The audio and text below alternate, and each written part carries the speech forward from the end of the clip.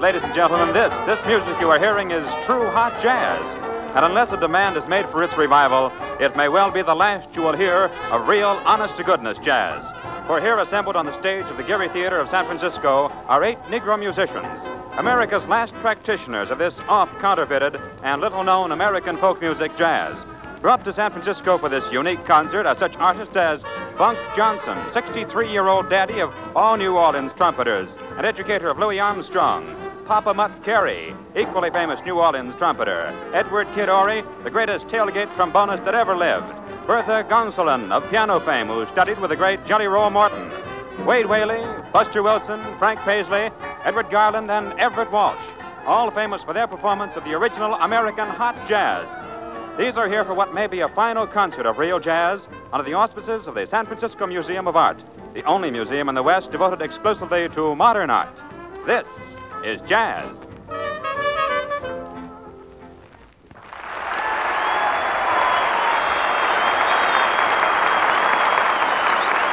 Does the name Bunk Johnson mean anything to you? Have you ever heard of Wade Whaley? What do you know about Bertha Gonsoulin? Nothing, perhaps, but those are names which cornerstone hot jazz. Now, I can't tell you about jazz. It's a little before my time. But uh, here's a musician educated in that field. The Blue Network's Clancy Hayes to speak for it. Ladies and gentlemen, it's an impossible job to crowd jazz into a half hour, especially when we have here in San Francisco eight of its original exponents. And I know you want to hear more of this real jazz music. So, let me tell you first just a little bit about how jazz originated. It originated here in the United States in the city of New Orleans, as Monk says, in the dear old city of New Orleans. And it was undoubtedly an outgrowth of the pagan rhythmic music of the African Negro.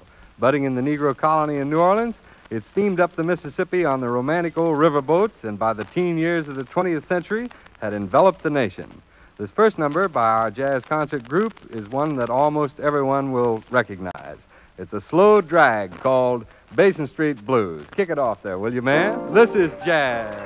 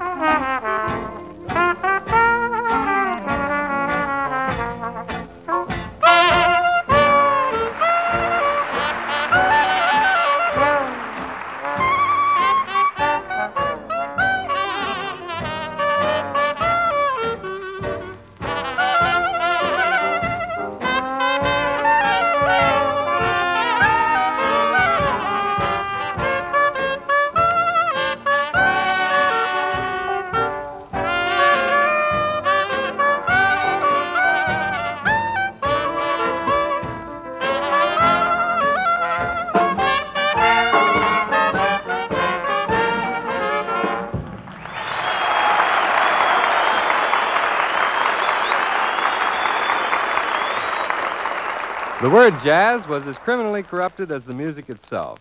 Originally, it was the rhythmic and unwritten music of the American Negro imported from his native Africa and developed in the brass bands of old New Orleans parades. By 1920, it became the title of an era. Teenage youth. They're caught in the spirit of that African rhythm. They went berserk. Heavy browed oldsters decried them as delinquents and blamed jazz. Ministers denounced jazz from their pulpits. Arty musicians and critics belittled the tide they couldn't stop. Then came those who commercialized upon this new movement. Chief among these was Paul Whiteman, who was ingeniously crowned by the unknowing as the king of jazz. But his music and his copiers were far from the true Negro jazz, the inspired improvised rhythmic music which formed the race's spirituals, and such two beat music as Muskrat Ramble, which, by the way, due to a typographical error on the label of its first recording by Louis Armstrong and his Hot Five, was announced as Muscat Ramble and is still known by that title. Incidentally, its composer, Edward Kid Ory, is the trombone man to be heard on this concert. Here it is, folks the Muskrat Ramble. This is jazz.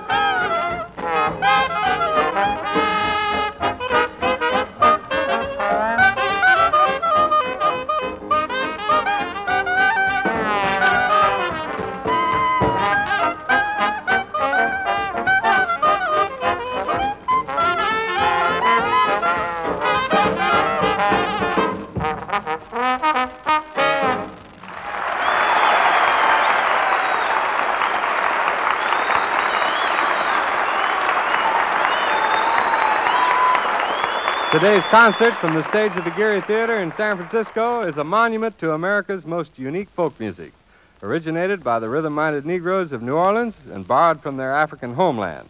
This program, This is Jazz, is jazz in the raw, jazz in its original, jazz before Carnegie Hall, jazz as it was adapted from Africa and ascended up the Mississippi from New Orleans, jazz as it was first played a half a century ago, and as it may never be played again unless you listeners demand it. From a dozen states west of the Mississippi, the San Francisco Museum of Art has gathered this small, ageless group of surviving jazz players to bring you this concert. And probably never again will all of these original exponents of true American jazz be grouped for a recital of America's original jazz. Suppose you were asked to write the rise and fall of the Roman Empire in 20 words or less. Well, a half hour just isn't enough time, that's all. But this next three minutes of high society, one of the most famous New Orleans parade tunes, will give you something of an idea of jazz.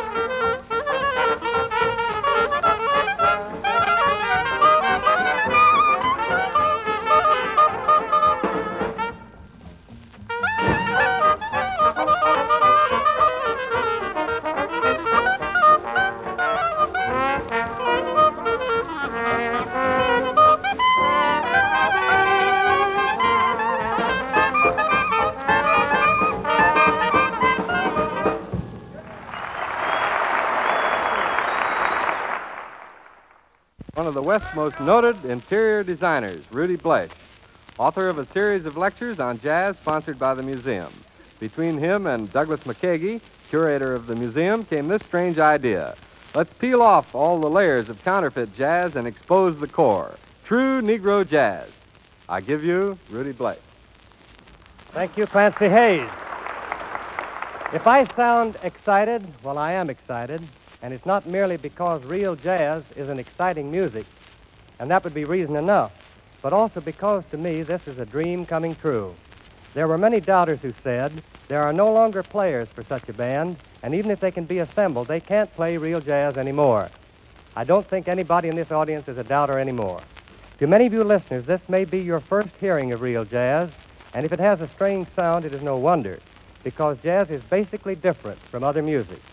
In its pure form, as here, unhybridized, uncorrupted, uncommercialized, it is American Negro folk music, and yet it greatly transcends its humble origins. Measured in itself, and apart even from its influence on serious composers, it is a great and significant art form, and this fact most certainly will come to be recognized. Now, how is it different? That's best told by what to listen for and what not to listen for in jazz music. First, good band instrumentation, five to eight pieces, consisting of trumpet, clarinet, trombone, piano, guitar, drums, and bass. No symphonic setup, and no violins. Second, good jazz tunes, rags, blues, and stomps, and very rarely the song hit of the moment. Third, good jazz tone, which is vocalized and human like in quality, not pure classical tone, and a good, clear, brassy sound to the whole band.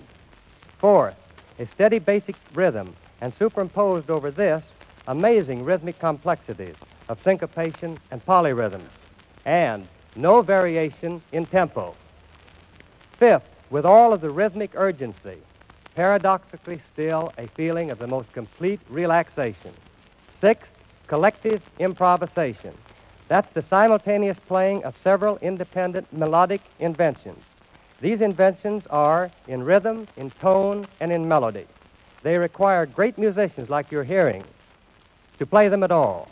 Now, if you hear all of these things as you have been hearing them now, then you are hearing pure, hot jazz and unique American music, which, while not serious music, most definitely is a music to be taken seriously. I hope you share my pleasure and pride in it, and most of all, I hope that you share my hope that young musicians all over the country may learn to play it once more and that it may be played everywhere again. And now I turn the microphone back to your able commentator, Clancy Hayes. Thank you, Rudi. This is Clancy Hayes.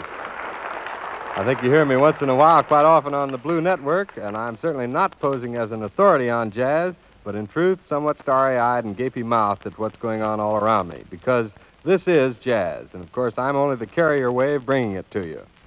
Well, certainly no program such as this would be complete without a rejuvenation of a Jelly Roll Morton tune, one of the trio type, such as Wolverine Blues, now to be performed by Bertha Gonsoulin at the piano, pupil and successor to Morton Wade Whaley, former New Orleans band leader and clarinetist, and Everett Walsh, equally noted New Orleans drummer. We give you the Wolverine Blues.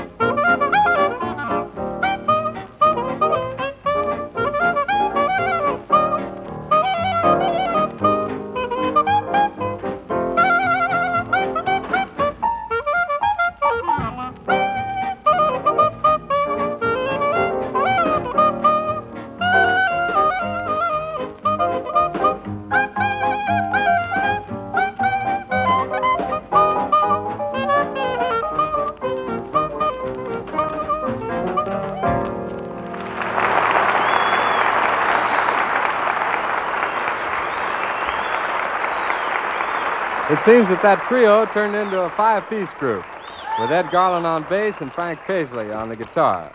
Rudi Blesh and San Francisco's Museum of Art searched wide and far for this lady known as Bertha Gonsoulin. To the real American jazz fanciers, she was number one jazz pianist. Once a famous ragtime pianist who studied with Jelly Roll Morton and played with King Oliver's band, she was discovered living right here in San Francisco. So here she is, Bertha Gonsoulin, with her jazz piano solo, The Pearls.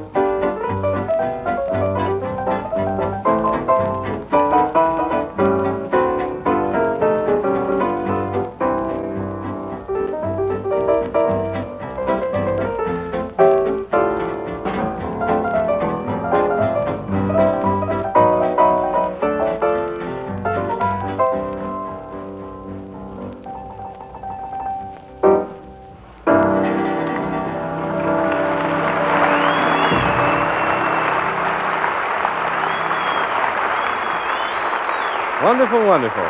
Well, this is Jazz, a concert from San Francisco by eight of the final famous musicians from the era of original Negro jazz music. And the next and final presentation of this specially collected group of old time jazz men is Dippermouth Blues, named for Louis Armstrong, who was in those days known as Dippermouth. Listen to this famous King Oliver number with its celebrated trumpet choruses by Papa Mutt Carey and the famous Willie Bunk Johnson. Yes, sir, this is jazz.